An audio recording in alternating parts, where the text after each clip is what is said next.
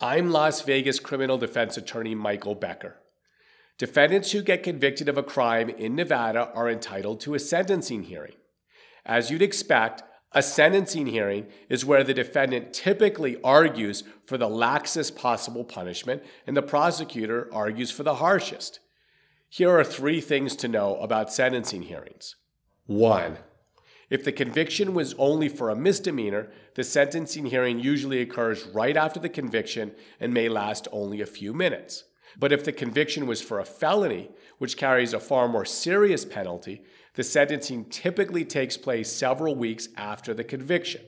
This is to give the attorney ample time to prepare for the hearing and to gather character letters that may be submitted on behalf of a defendant.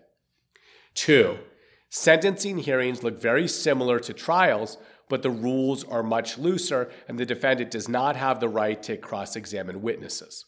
And three, Judges almost always honor the terms of a plea bargain when imposing a sentence, but they do not have to. There is always a slight risk at the sentencing hearing that the judge will impose a harsher penalty than what the defense or prosecution agreed upon.